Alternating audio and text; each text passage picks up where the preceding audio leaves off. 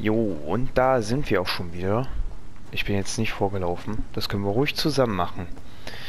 Ihr könnt, ihr habt das Privileg, dass ihr skippen könnt, bis ich zurück bin. Das habe ich natürlich nicht. Ich verstehe es trotzdem nicht.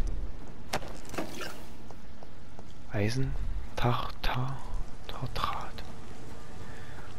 Motort Merchant Service. Okay. Ich höre schon wieder hier. Ein Ghoul oder so. Irgendwas ist es.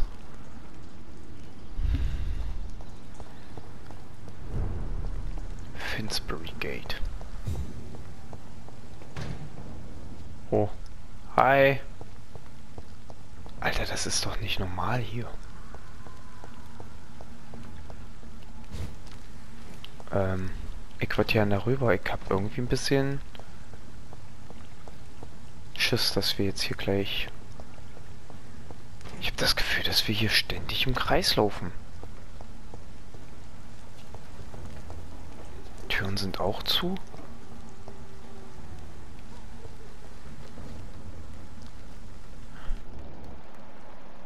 Okay, der ist Level 9, aber der hat so ein komisches Feuerding. Das ist ja... müssen wir wohl wieder zurück.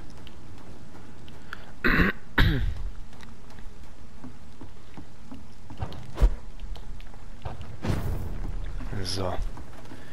Jetzt sind wir auf jeden Fall schon... Oh, was haben wir hier? Guten Tag.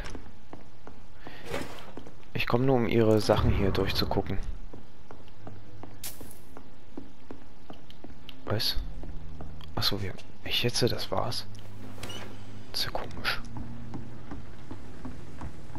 So, jetzt mal ohne Witz. Wie zur Hölle? Ach ja, der Ladebildschirm. Ach doch nicht. 285. Wir sind doch von hier unten gekommen, richtig? War das nicht so?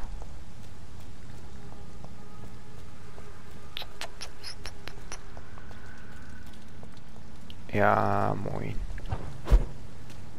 Okay. Das haben wir auf jeden Fall schon mal. Also wir scheinen... Ach, hier, das ist doch...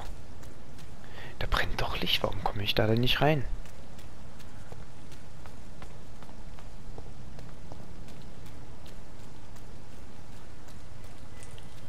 Er ist zu. Da ist offen. Ne, dann gehen wir einfach wieder da lang. Sollte ja funktionieren.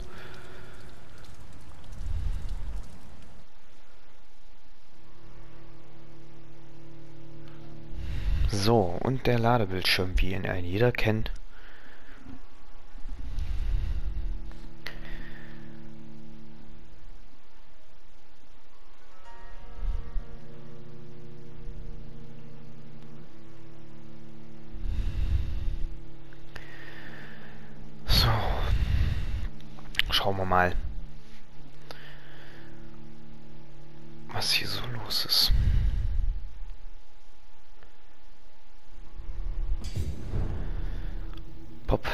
Poplar. Ja, da stand doch gerade Pembroke Hospital. Ist immer noch da drinne. Ich dachte, der braucht Hilfe. Okay, hier haben wir noch eine Kiste. Jawohl. Könnten wir ja eigentlich noch ein paar Sachen bauen. Patronen, sehr gut. Sch oh, Schrotpatronen.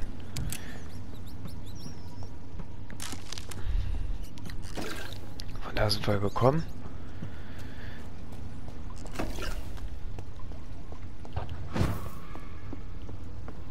So. Dann müssten wir ja hier wieder auf dem richtigen Weg sein. Ich denke schon. Ja, sieht gut aus. Oh, quietsch.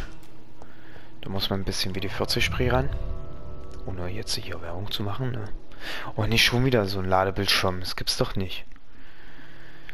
Schattenschleier. Einige Gegner, darunter blinde Skulls und Prediger, werden deine Anwesenheit spüren, wenn du diese Fähigkeit verwendest.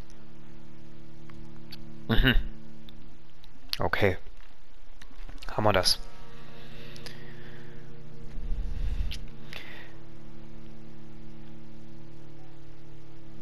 Ja.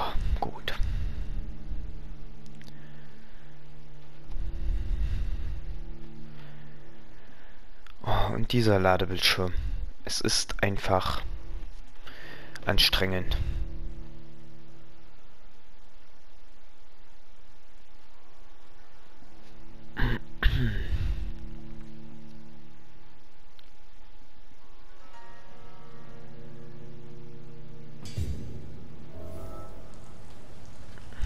So, das... Ja, wunderbar.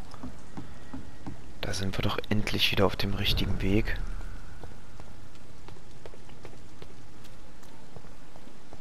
Warum zeigt er uns an? Begib dich nach Whitechapel. Äh. Hä? Wir müssen nach oben. Also wir müssen oben bleiben. Oder? Nee, wir müssen noch höher. Ach du Jemine. Wie sollen wir denn das machen? Ich würde ja fliegen. Einfach mal hier so drüber fliegen. Enter at your own risk.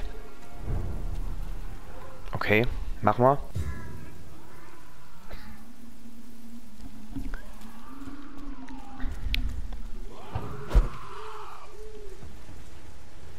Dead inside. Wir müssen noch höher. Ja, was denn? Komm her. Oh, verdammte Axt. Der ist ja schon Level 18. Notiz der Wet Boot Boys. Ich glaube, ich habe in Whitechapel jemanden gefunden, den wir für die Boys gebrauchen könnten. Sein Name ist Albie. Er ist dumm wie Brot, aber zäh. Er sollte einige Medikamente für den Schwarzmarkt besorgen, um sich zu beweisen und hat schnell und zufriedenstellend geliefert. Bei unserem nächsten Treffen werde ich ihm verkünden, dass er nur ein Wet Boy, Boot Boy ist, dass er nun ein Wet und seine Befehle ab sofort von den Anführern erhält. Okay.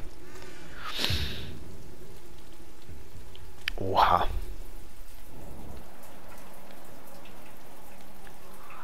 Wie sollen wir das denn machen? Ich glaube, wir sollten eher mal zurück oder? Ich habe keine Ahnung. Was? Diese Stille gefällt mir nicht. Und mir erst.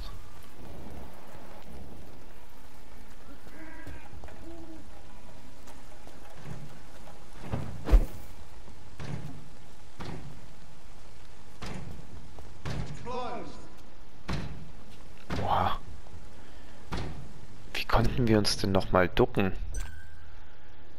Controllersteuerung? Ausweichen gedrückt halten. Wir können uns gar nicht ducken. Na klasse. Level 12 sollten wir schaffen. Aber ist der oh, Level 11? Oha. Okay. Habe ich verstanden.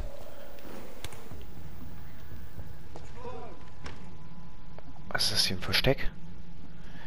Wäre ja schon nicht schlecht.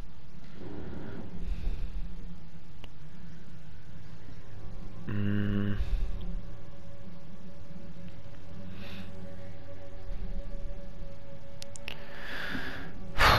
Wen haben wir denn da? Großmutter Tilde. Warum kann ich hier rein? Okay, können wir Schillinge klauen?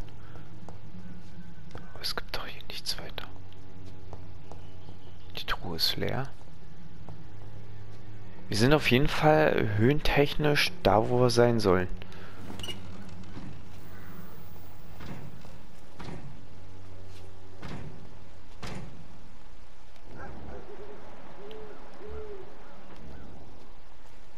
Ich könnte es jetzt versuchen, die zu töten. Erst den einen, den anderen. Die Frage ist, schaffen wir das?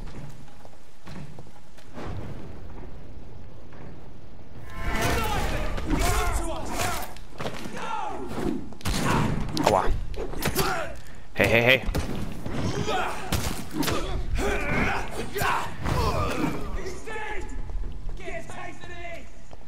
Was willst? Aua. Verdammte Axt. Lass das doch. Boah.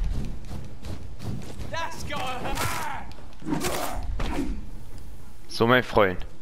Das machst du nicht nochmal. Das war nicht nett. Der hat seine Schraube verloren.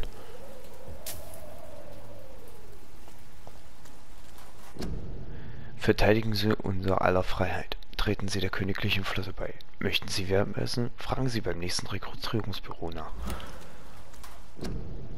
König und Vaterland brauchen Sie. Schließen Sie sich den britischen Truppen an und helfen Sie unseren tapferen Jungs an der Front. Ja, ja. Komme ich da hoch? Ah, nee, es sind ja... Ähm, Spritze brauchen wir nicht, okay.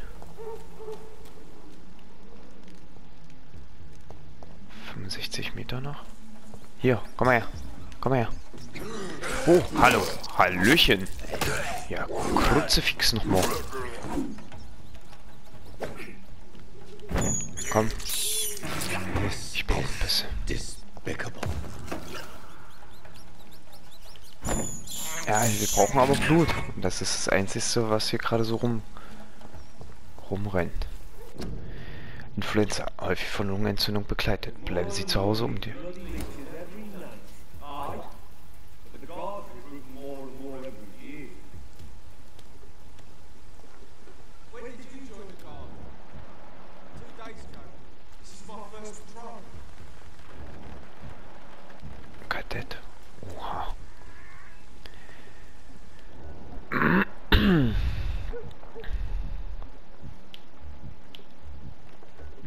sind's.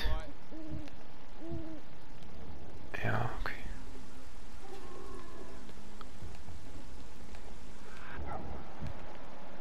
Ah.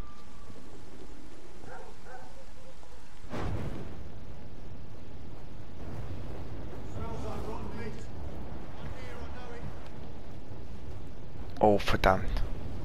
Das schaffe ich doch niemals.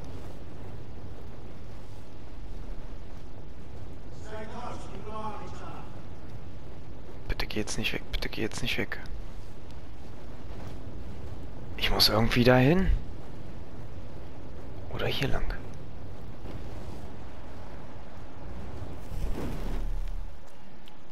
Okay, das haben wir schon mal. It's locked, all right. Oh, na klasse. Ich würde mich echt gerne verstecken.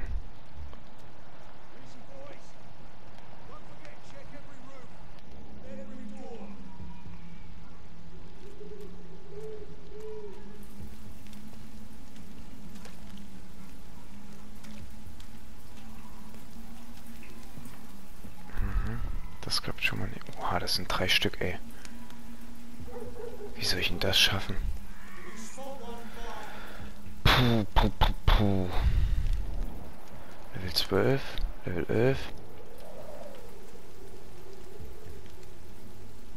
Oh, dieser Cooldown. Okay. Ja, ciao.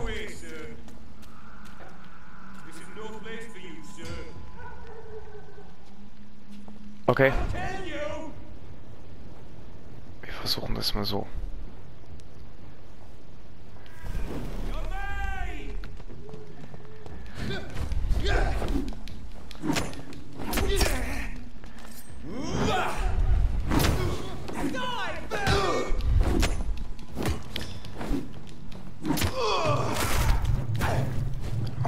Kann ich denn jetzt hier nicht...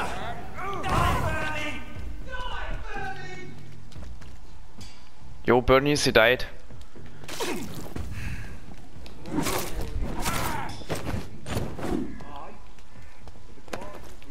Okay, das haben wir. Whitechapel.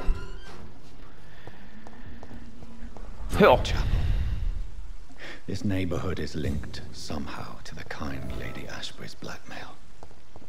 First, let's find this Petrescu fellow. Nee, als erstes sollten wir uns einen Unterschlupf suchen. Kollege.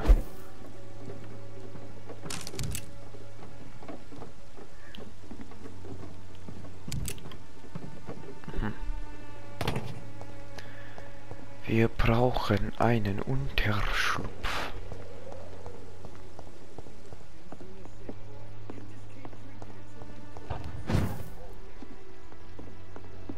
Das sieht mir doch hier nach einem Unterschlupf aus. Oder?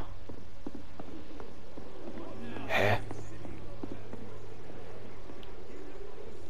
Das verstehe ich nicht. Wieso können wir hier hoch, wenn wir hier nichts machen können?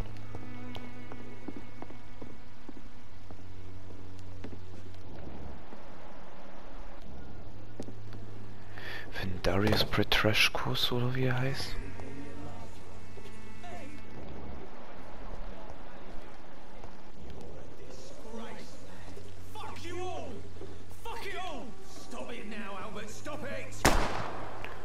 Nein.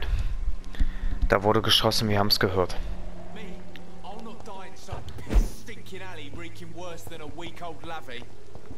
Hey du. Wer bist du?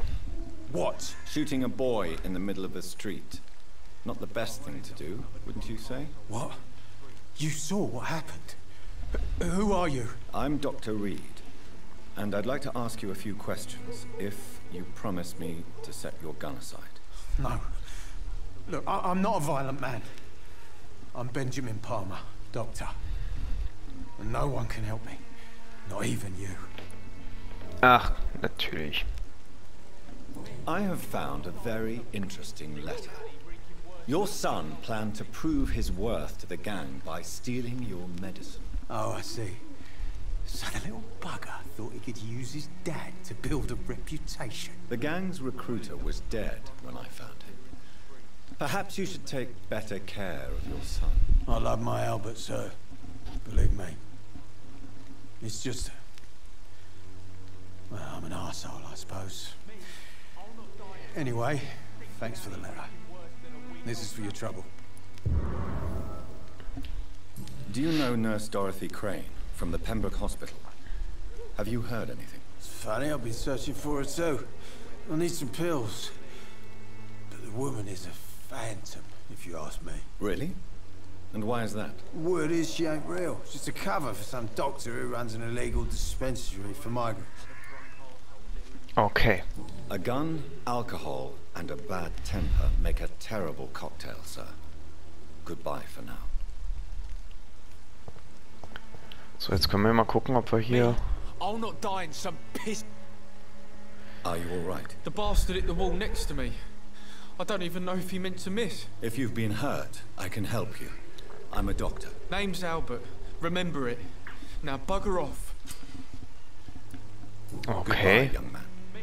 I'll not die in some piss stinking alley reeking worse than a week old lavvy. Warum ist das hier so angeleuchtet? Wir wollen doch nur eine Unterkunft.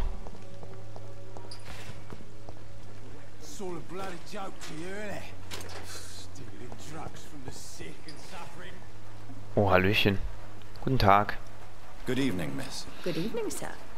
Are you interested in a miraculous cure for this unknown and deadly epidemic? Actually, I am. Then you have come to the right place. The famous Swanborough cordial is all you need to help keep you in perfect health. Oh, really? Why didn't I hear about it during my studies? I'm Jonathan Reed, by the way. Dr. Jonathan Reed. Ah, my brother has spoken of your research, sir. I'm Loretta Swanborough, and it's always a pleasure to meet a fellow healer. Do you know Nurse Dorothy Crane from the Pembroke Hospital? I'd like to know more about her. I don't like to talk about competition. Competition, you say?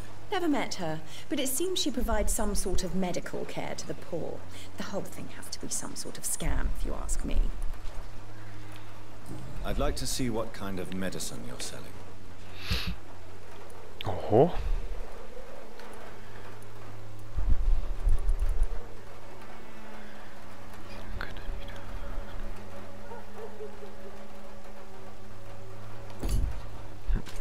Wäre schön, wenn wir jetzt endlich mal so ein Ding finden würden. Was wir uns hinlegen. 2255 EP-Punkte haben wir.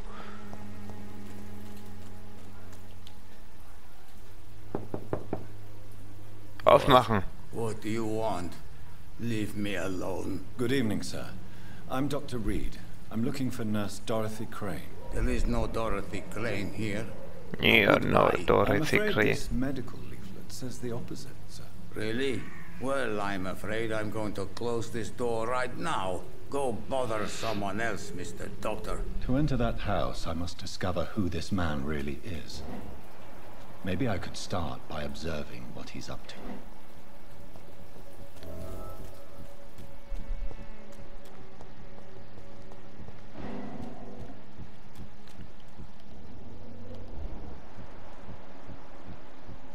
Echt jetzt? Das ist doch hier. Petrovic.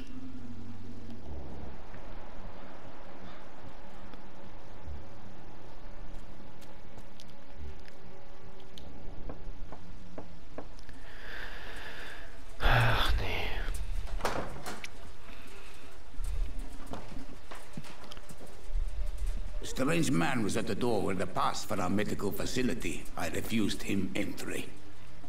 Darius, how could you know he didn't need our help? His clothes were too finely tailored to be for Whitechapel. Perhaps just a friend of that stray poet who is always about. Richard Nithercott? No, not of the same cloth, this man. I suspect some machination from that journalist. Clayton Darby. Is he still asking questions? Yes. I saw him drifting around St. Mary's Church. I swear he is tracking me just downwind.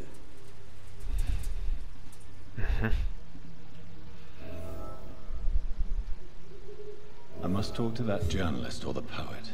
They must know about Darius. Nearby the church they just mentioned. I cannot enter. Finde die Anwohner. Es wäre schön, wenn wir trotzdem erstmal irgendwie ein Haus finden würden.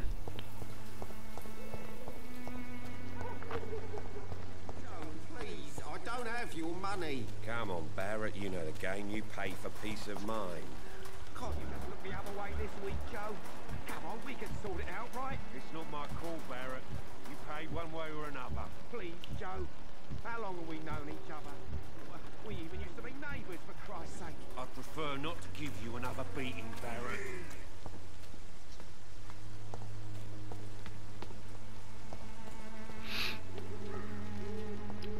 Finde Clayton in diesem Bereich. Bist du Clayton? Sag Excuse mal me, du. sir. Are you familiar with this part of town? Name's Clayton Darby, reporter. Sorry, Ah. I'm new to Whitechapel. But perhaps you could help me since you're a journalist. My name is Jonathan Reed. Dr. Reed, the famous surgeon. I'll gladly help if I'm able, sir. I heard you're investigating an underground medical dispensary in Whitechapel. What do you know about it? Not much, I'm afraid. They are wary of strangers, and I'm not really an acquaintance of theirs. Why do you care? I'm afraid one of the nurses from the Pembroke Hospital may be involved with unsavory activities. Ah, could it be Dorothy Crane? Without a doubt, you are a damn fine journalist, Mr. Darby. What do you know of her accomplice, a man named Darius? I don't know much about the man. He's very cautious. Never goes out. Doesn't seem to have any friends or family.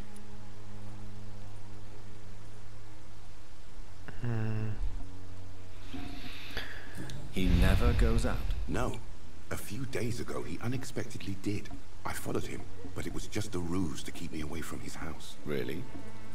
How do you know? He went to the nearest mailbox, but just before posting his letter, he ripped it up and threw it away. Okay. Goodbye, Mr. Darby. Farewell. Richard.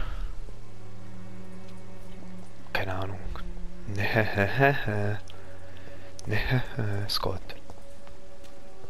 Gott. Gut. Ja, wir sind ja auf jeden Fall richtig. Ah, hier kann ich meine Fähigkeit nicht einsetzen. Außer hier.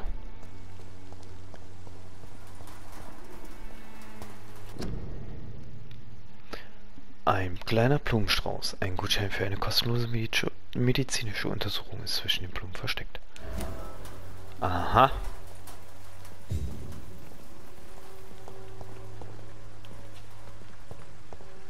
Boah, Richard. Richard, wo bist du? It's locked. Echt jetzt? Das kann ja wohl nicht wahr sein.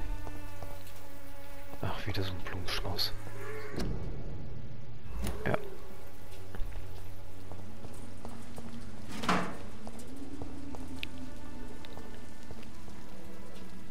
Hello. Good evening, miss. I'm Dr. Reed. I'd like to ask you a few questions. I know what you're thinking. A tall stranger who meets a girl in the street at night. It reeks of the penny dreadfuls. But I mean you no harm, truly.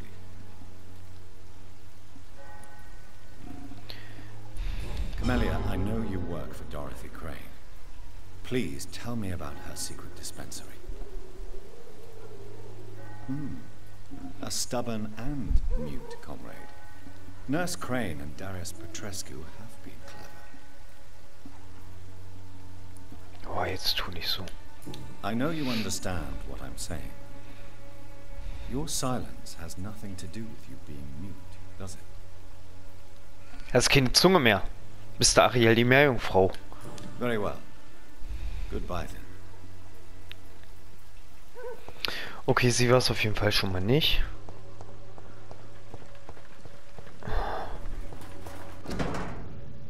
Ah. Zufall.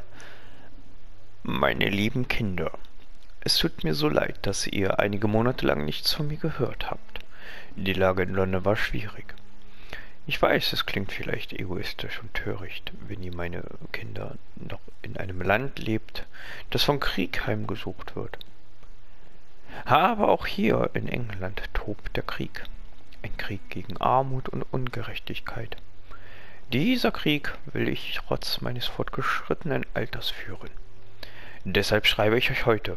Ich werde nicht nach Rumänien zurückkehren. Das bedeutet, ich sehe euch wahrscheinlich nicht wieder, bevor ich sterbe. Seid nicht traurig, meine Lieben. Ihr seht, seid mittlerweile erwachsen und habt selbst Kinder. Ihr wisst, welche Opfer wir manchmal bringen müssen, um diese Welt zu einem besseren Ort zu machen. Und dieses muss ich nun bringen, damit ich mich noch ein letztes Mal nützlich fühlen kann. Ich wünsche euch ein langes und glückliches Leben. Gebt meinen Enkeln einen Kuss von mir und vergesst nicht, dass euer Vater euch auch weit ab der kalten Heimat liebt. Euer ewig liebender Vater Darius Petrescu. The content of Darius' letter to his children could give me more leverage to enter. Ah, so, das sagt, das sagt aber immer noch nicht, dass wir diesen komischen Dings nicht finden. Hier, schieß mich tot. Äh, wie heißt er? Kotnascher. Richard Kotnascher. Ich frage mich immer noch, wieso wir hier hoch können. Wenn es hier oben doch nichts gibt. Hm. Aber hier in die Kirche können wir auch nicht. Hallo, klopf, klopf. Na, Schwester? Sind wir wieder stumm? Es muss einen anderen Weg geben. I cannot enter. Es muss einen anderen Weg geben.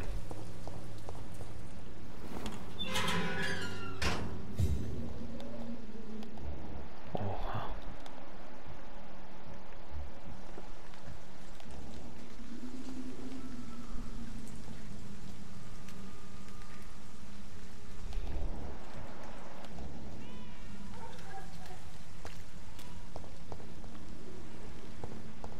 Hm.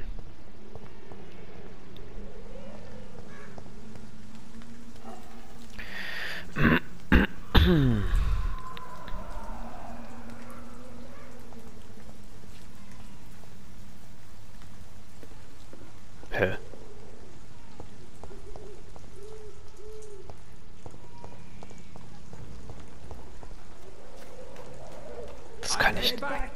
you, sir. Ja, okay. Crawl back to the hell that spawned you. Oha. It ain't human. Kill it. Oh. Ich hoffe, wir sind jetzt sicher. Das kann nicht der richtige Weg sein. Das muss irgendwo anders lang gehen. Aber wo zur Hölle?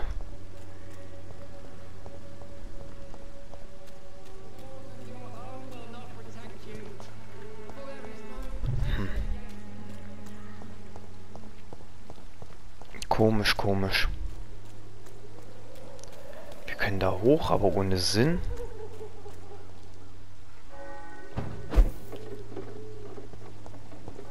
Das bringt's ja hier nicht. Hier ist ja nichts.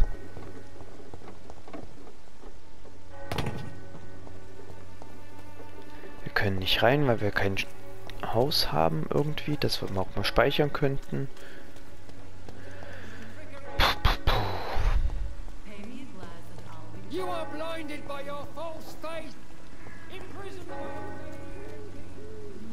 Aha, was ist hier?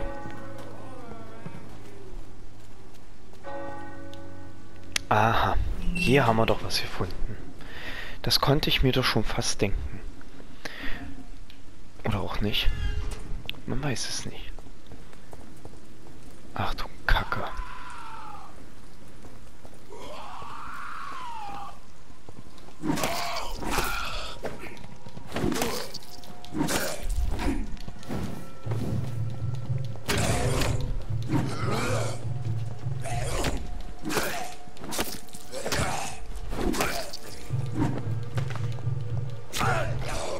Wir haben keine Ausdauer mehr.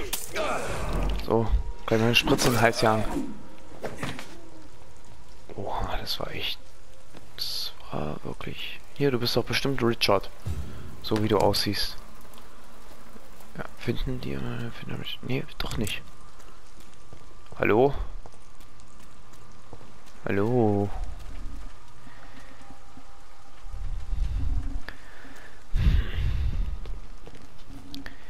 Es ist und bleibt ein Mysterium. Dann würde ich sagen, sehen wir uns in der nächsten Folge wieder. Bis dahin, danke fürs Zuschauen. Ciao.